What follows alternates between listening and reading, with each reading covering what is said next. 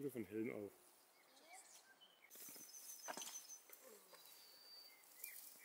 Schau, die sind ganz weggehen? Hier, da ist ungefähr das Brutnest. Das mögen die natürlich nicht. Alles, was hell ist. Das unterste Blutnest. Genau. Aber schön langsam, weil da sitzen ja auch Bienen. So, tun wir es mal rein. Nee, geht schön weg. Na, das war ja Bilderbuch. Ihr dürft wieder rein.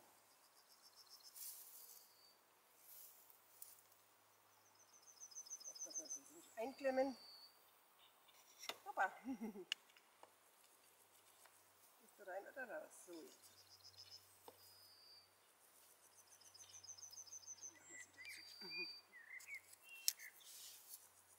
Genau. Die Stadion sind immer gleich drauf.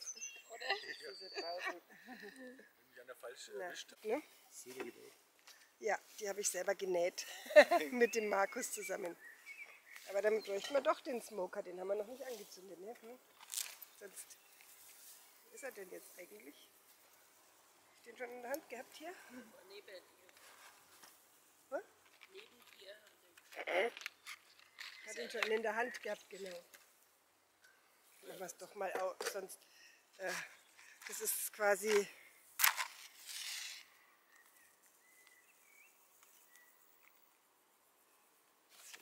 Drin? Nee, Kräuter.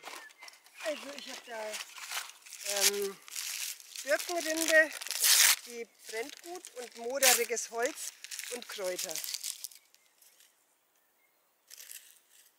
Und das soll dann das Ganze anbrennen. So. Dann müssen wir ein bisschen pumpen, damit es anfängt zu brennen. Magst du das machen, Johanna? Schau mal, da kann man einfach vorsichtig immer pumpen. Super. Kannst du das oder ist deine Hand zu klein? Nee, das schaffst du. Ich habe immer vor dem Trennsheet noch ein Rähmchen. Wenn sie doch schneller wachsen oder was, dann gehen die auch nach außen und bauen weiter oder tun auch Honig eintragen, wenn da noch ein Rähmchen hängt. Das ist richtig. Als Ich hatte da so eine Futtertasche äh, hängen und dann waren plötzlich zwei so kleine Streifen dort reingebaut. In die Futtertasche, ne? genau. So, jetzt machen wir erstmal auf. Das ist noch kein Honigraum. Ne? Das ist jetzt äh, noch kein Bienenraum, sondern erst dahinter kommt. Jetzt brauchen wir den Smoker, genau. So, wenn der qualmt, dann drängen wir damit die Bienen ein bisschen zurück. So, dann. genau. Jetzt kann man das.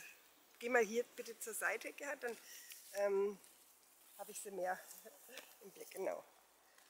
So, jetzt machen wir hier ein bisschen Rauch drüber, dann gehen sie nach unten und fliegen nicht so auf. Genau.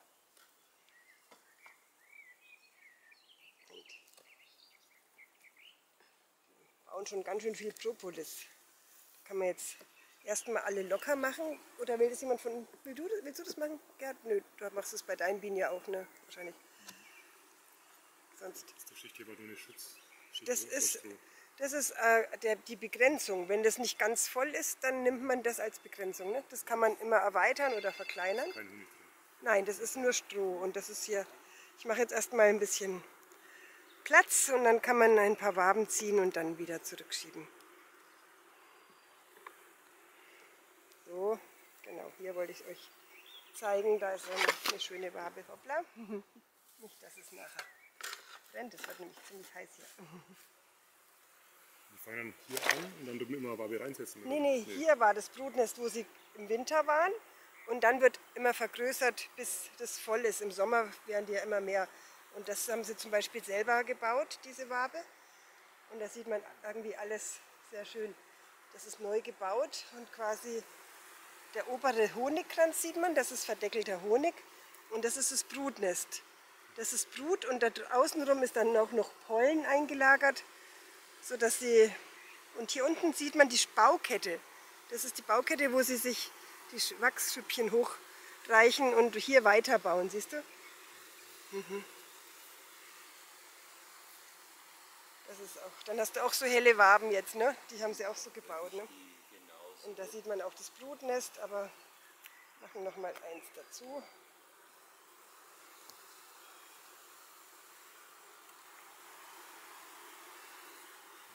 Fliegfässer drin, mit der Milbe. Na doch, es gibt äh, immer wieder auch Motten, wenn man äh, Wachs äh, drin hat, was nicht be belebt ist. Dann kommt die Wachsmotte und macht die wieder zunichte. Da sieht man zum Beispiel so ein riesiges Brutnest. Siehst du das? Und man sieht hier, da ist die Brut geschlüpft und hier ist sie, das ist die jüngere Brut. Also man sieht hier diese konzentrischen Kreise quasi. Ne? Und hier legt sie dann wieder rein und dann schlüpft hier die Brut. Also das ist immer in dieser Spirale. Sie geht quasi immer im Kreis in dieser Kugel. Das sind wirklich die Kugeln viel schöner als bei meinen Ja, Standard.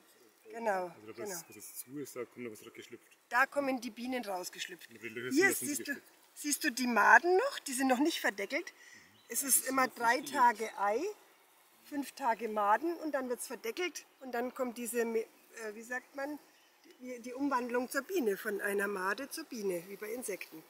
Und das ist quasi eine Drohnenbrut, das, das ist so eine dickere Wabe. Genau. Königin sehe ich gerade nicht, manchmal sieht man die spazieren gehen. Da muss man immer aufpassen beim Hoch und runter, damit man da nicht eine Biene oder sogar die Königin quetscht. Da ist nur eine immer vorsichtig Eine. Königin. Genau. Okay. Und wenn du die umbringst, dann ist Dann vorbei. ist Pech, ne? Oder gibt es eine neue? Die ziehen sich dann aus einer frischen Brut, aus einem Ei, das ein, zwei Tage alt ist, können sie sich eine Königin ziehen. Weil die Königin entsteht nur dadurch, dass sie Propolis gefüttert kriegt. Also nur Propolis, ähm, Gelee Royal gefüttert kriegt. Die anderen kriegen nur die ersten zwei, drei Tage Ge- Gelee Royal und dann kriegen die so eine Art Bienenmilch. Die ist anders als. Aber die Königin wird bis zum Schluss mit Gelee Royal gefüttert und das ist das Einzige, dass sie sich zur Königin entwickelt. Alex, das brauchen wir hier aber nicht. Pass mal bitte auf, dass er nicht da direkt. Ja, da sieht man das auch so ein riesiges Brutnest, oder? Und man sieht hier auch, da schlüpfen sie. Vielleicht, wenn wir Glück haben, vielleicht sehen wir eine schlüpfen. Ja, das könnte gut sein.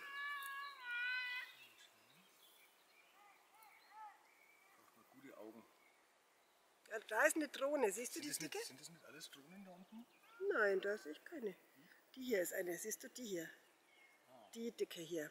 Ah ja, stimmt. Ich fasse sie mal an. Die. Johanna, magst du mal eine Biene anfassen? Die können nicht stechen. Das sind die Männchen. Bitte, ich gebe sie dir mal. Die können gar nicht stechen. Die können das nicht sind die stechen. Männlein. Die kann man Die sind anfassen. ganz Die lieb. sind ganz lieb. Und Die haben so große. Augen und sind ein bisschen größer. Das sind die Männer. Und die Frauen die machen die Arbeit. Nee, sag mal das nicht so. Was machen denn die Männer? Die Männer, was machen sie denn? Was machen die denn? Die- die? Schau mal. Die Männer sind die Informationsüberträger von einem Stock zum anderen. Die dürfen in jeden Stock rein und werden überall willkommen geheißen. Und wenn die nicht wären, dann wüssten die Bienen viel weniger, was woanders los ist. Und schön, oder? Kommunikation ist das Wichtigste. Die